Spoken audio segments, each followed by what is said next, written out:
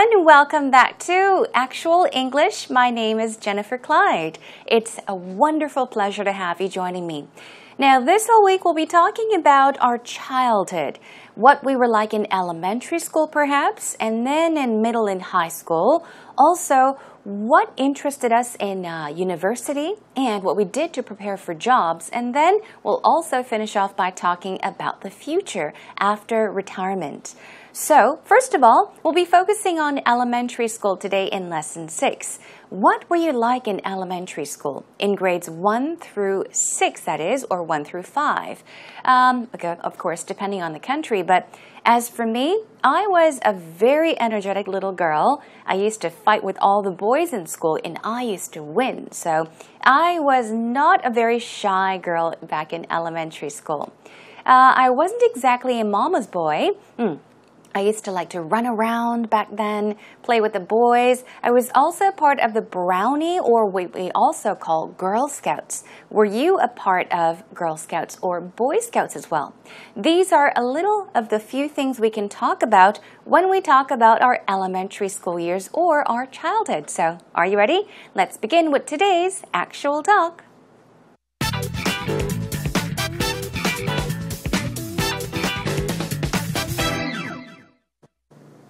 Peter. Hello. You know, I saw a picture of your new baby boy. Yes. And he looks very much like you physically. He's very chubby, Rachel. What are no, you trying to say? No, not the chubby part, but you know his eyes and his nose and his mouth. He looks very similar to you. Yeah, I think physically he's similar to me, but like emotional wise and personality wise, he's quite different. Really? Yeah. What were you like when you were younger? When I first went to elementary school, uh, we call it primary school in the UK, actually. Um, I cried so much that first day, you know, Oh. being away from my mum and stuff like that. And I was a really shy kid. Okay. You know, were I, you a mama's boy? I was a big time mama's boy. I'm an Oh. only child, and I didn't like to make a fuss or you know disturb anyone or anything like that. But Jiho, he liked shouting and screaming and getting everyone's attention.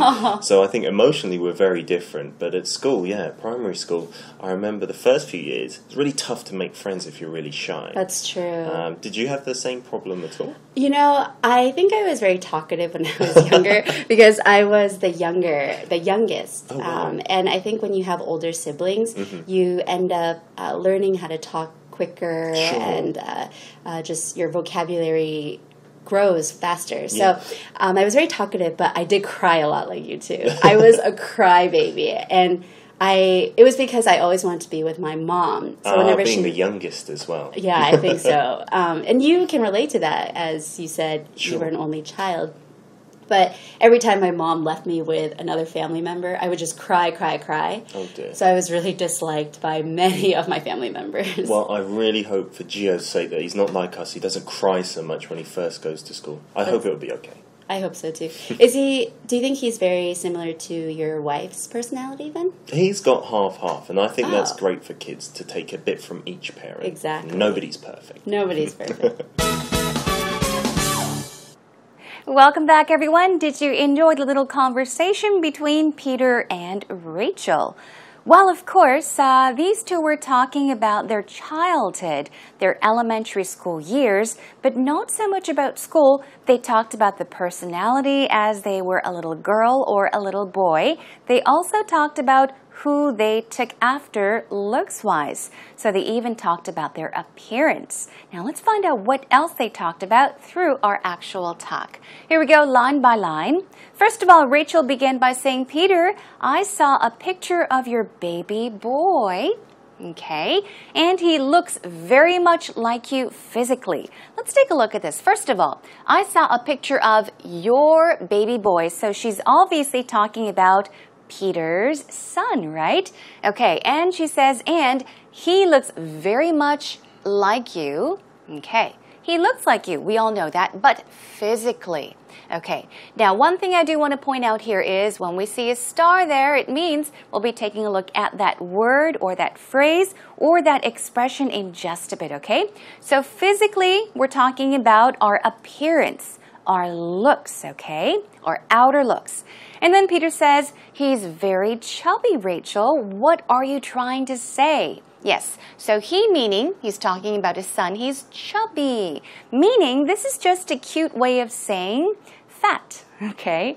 Now, if you say to someone, wow, you're fat, it could actually hurt their feelings. Okay. So if you say that somebody is chubby, in Korean, exactly it is 통통하다. Okay. Not 뚱뚱하다, but 통통하다. It's a cute way of saying that you are a little bit overweight.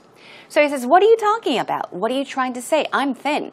Rachel says, No, not the chubby part, but his eyes and his nose and his mouth.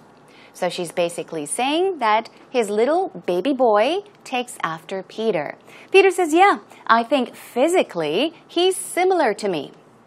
But emotional wise and personality wise, he's quite different. So once again, Peter is saying physically, when we're talking about our outer looks, appearance, yeah, he looks like me, he does. But emotional wise and personality wise, he is a bit different. Let's take a look at what these actually mean. First of all, we talked about physically which means appearance or looks, and also something something wise, such as appearance wise or even looks wise. You can say physically, we have a lot of similarities, meaning on the outside. From what you see on the outside, we are very similar in many ways. What about this? Their appearance or their looks are similar. Simply put, they look very similar. 외모가 같다는 말이죠. Looks wise, I take after my mother. Now, if you add the wise here, it means in a manner in some sort of way. Okay, looks wise, I take after my mother. Now let's take a look at personality wise to help you understand a bit more. So, personality wise, personality wise, in a way, in a certain manner. Personality wise, we're very much alike. Okay? All right. Now back to the conversation. Rachel says, What were you like when you were younger. Okay, younger meaning because he is still young, but younger than now. He says, When I first went to elementary school, we called it primary school in the UK. So he's talking about what elementary school is called in the UK. So next time when you hear primary school, it means elementary school. Okay, so we say elementary school, but in uh, perhaps Europe, right? In the UK, they call it primary school. So he says, in primary school, I cried so much, right? That first day, I was really a shy kid. He was a shy boy. And then Rachel says, Were you a mama's boy? I'm sure you all may know this already, but let's take a look at what it actually means. Okay, I was a big time mama's boy. So he's saying I was a mama's boy, but a big time meaning not time wise, but big time here means a huge, okay? He was a very serious, he was a huge mama's boy.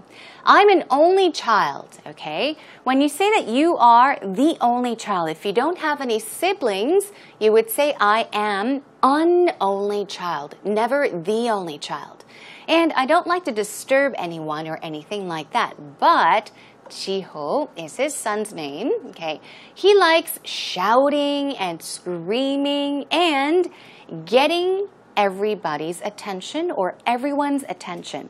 Remember, they were talking about looks wise. Yes, his son takes after Peter, but he said emotional wise or even personality wise, we're very different. So, Peter was a very shy boy when he was little, but Jiho, his son, he's different. He likes to shout, he likes to scream, and he likes getting everyone's attention. Meaning, look at me, look at me, okay? Pay attention to me.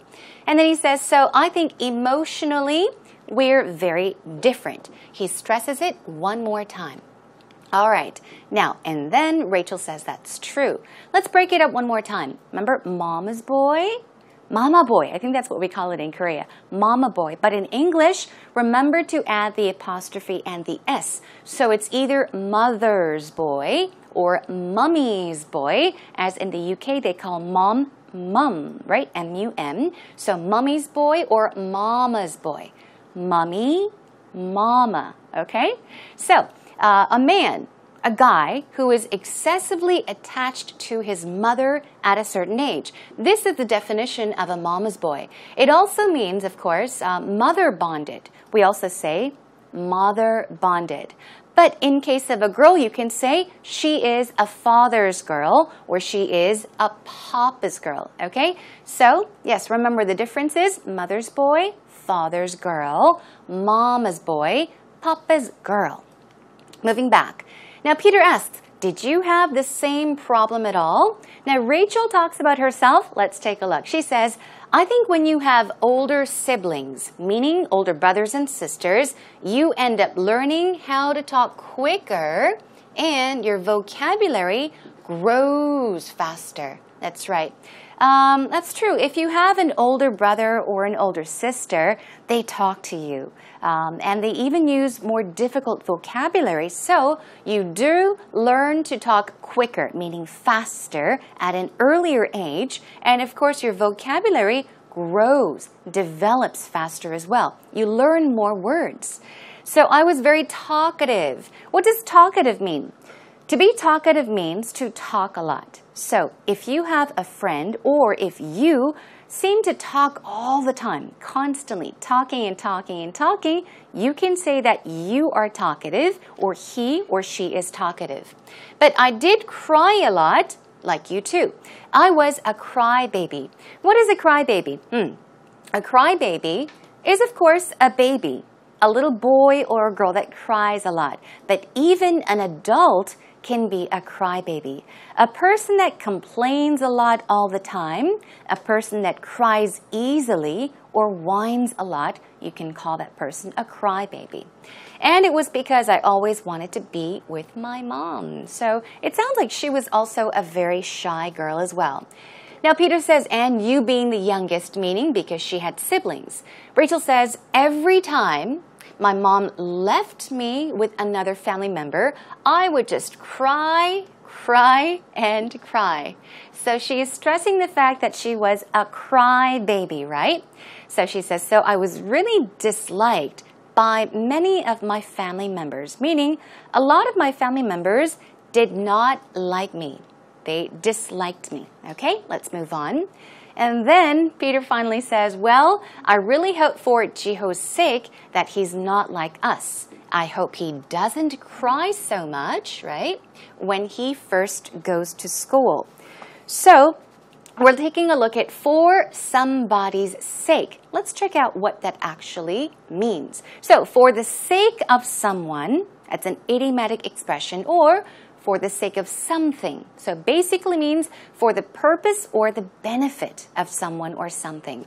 Here's an example. You can say, I often try to use easy vocabulary for the sake of the viewers that find the lectures difficult. So here it is, for the sake of so and so.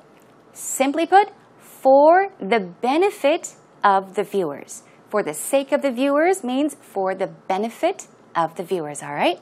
Okay. And also for one's sake, it means for one's good as well, for one's own benefit.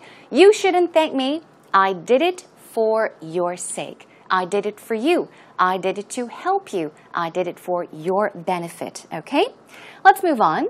And then Rachel says, I hope so too. Mm, meaning, I hope that when I later on have a child, he or she doesn't cry when they first go to school. And then she asks, Do you think he is very similar to your wife then? Similar to somebody, meaning to take after somebody. And he says, He's got half half, and I think that is great for kids to take a bit from somebody, from each parent. Nobody's perfect. And he ends the conversation. But here we have half half. He's got, he has half half Hmm, what could that mean? Let's take a look. Now, 50 50 is another way of saying that. Half A, half B is another way. It means 50% A and 50% B, okay? Part A and part B. So, for example, you can say all the participants had a 50 50 chance of passing. So, for example, back to the talk, Rachel asked Peter, So is your little boy, your baby boy, similar to your wife? He said, Well, he's 50% like my wife and 50% like me. That's a very long sentence, so you could simply say, well, he's half-half. 반반이야. 반반 닮았어. Or you can use 50-50 and say, well, he's 50-50. 50 my wife and 50 me. Okay, simply put. That brings us to an end to today's actual talk, everyone. Let's listen one more time with the subtitles. Peter, Hello. you know, I saw a picture of your new baby boy, Yes. and he looks very much like you physically. He's very chubby, Rachel. What are you trying to say? no, not the chubby part, but you know, his eyes and his nose and his mouth, he looks very similar to you. yeah, I think physically he's similar to me, but like emotional wise and personality wise, he's quite different. Really? Yeah. What were you like when you were younger? When I first went to elementary school, uh, we call it primary school in the UK, actually. Um, I cried so much that first day, you know, Oh. being away from my mom and stuff like that. And I was a really shy kid. Okay. You know, were I, you a mama's boy? I was a big time mama's boy. I'm an Oh. only child, and I didn't like to make a fuss or you know disturb anyone or anything like that. But Jiho, he liked shouting and screaming and getting everyone's attention. So I think emotionally we're very different. But at school, yeah, primary school, I remember the first few years. It's really tough to make friends if you're really shy. That's true. um, did you have the same problem at all? You know, I think I was very talkative when I was younger because I was the younger, the youngest. Oh, wow. um, and I think when you have older siblings, Mm-hmm. you end up uh, learning how to talk quicker Sure. and uh, uh, just your vocabulary grows faster. So um, I was very talkative, but I did cry a lot like you too. I was a crybaby. And I, it was because I always wanted to be with my mom. So Ah, whenever being she the youngest as well. yeah, I think so. Um, and you can relate to that, as you said you were an only child. But every time my mom left me with another family member, I would just cry, cry, cry. Oh dear. So I was really disliked by many of my family members. Well, I really hope for Jiho's sake that he's not like us. He doesn't cry so much when he first goes to school. I hope oh. it'll be okay. I hope so too. Is he? Do you think he's very similar to your wife's personality? Then He's got half half, and I think that's Oh. great for kids to take a bit from each parent. Exactly. Nobody's perfect. nobody's perfect.